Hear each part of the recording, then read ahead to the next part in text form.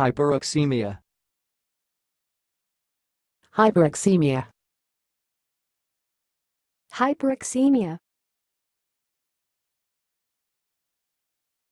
Thanks for watching. Please subscribe to our videos on YouTube.